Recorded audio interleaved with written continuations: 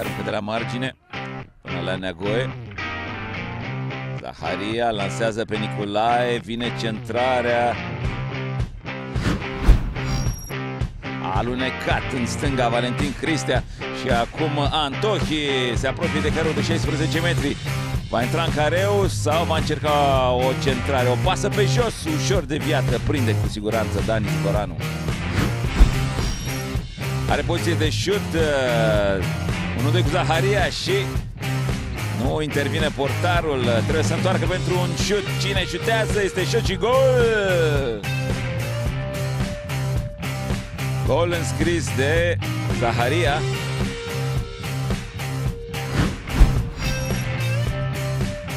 Elec până la Răzdan. Răzdan intră în careu de 16 metri și este gol! Gol, Florin Răzdan. 2 la 0. La doar 3 minute după reluare. Se lasă legea avantajului. Și acum uh, rămâne întins în uh, careu și Robert Telec. Înceanu. Vede pe Nițu bine în uh, marginea careu de 16 metri. Nițu pasă pe jos, șut al lui Enceanu. Bună intervenție a lui Zvoranu.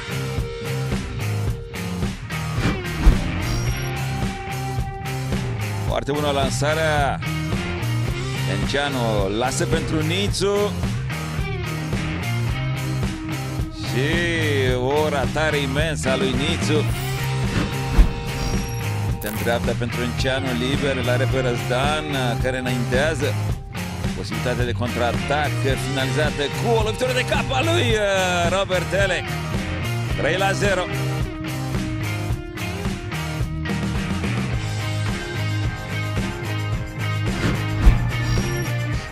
Perioada de pregătire se apropie de, de final. Cum vă simțiți? Am mai o săptămână până începe campionatul.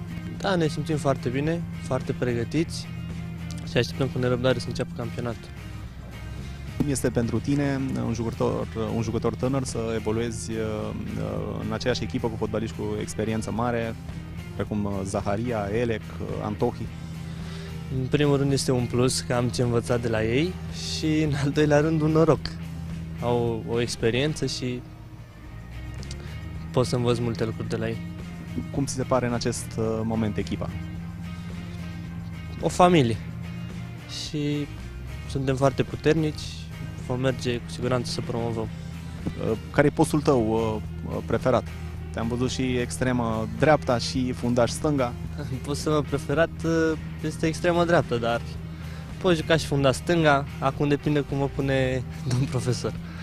Cum ai început? Pe ce post ai început fotbalul?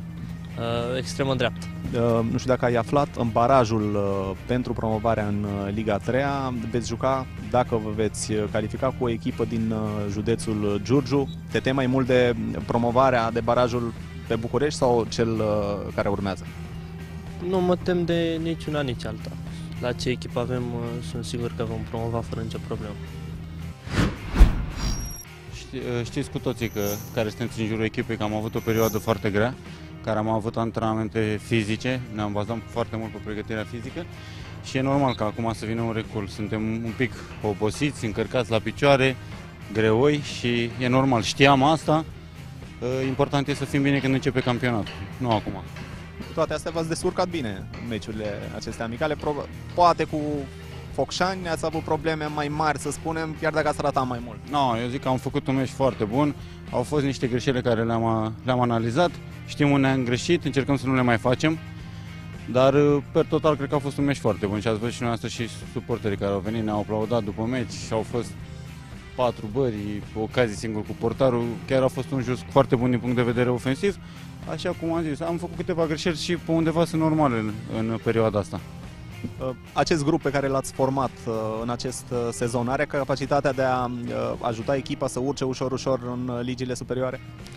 Da, eu sunt convins că avem, dar e bine să fim, să fim modești, să rămânem umilți, cu capul în pământ, cum se zice la fotbal, să muncim, că deja visăm Liga 1, Liga 2 și noi să fim realiști. Acum suntem la Liga 4 știm ce ne dorim, dar trebuie să rămânem aici canalizați pe ce avem de făcut acum la Liga 4 Vom fi la Liga 3, știm ce avem de făcut la Liga 3 și tot așa, dar trebuie să luăm pas cu pas, să nu ne vedem, uh, să zic așa, Barcelona și noi suntem, uh, jucăm unde jucăm.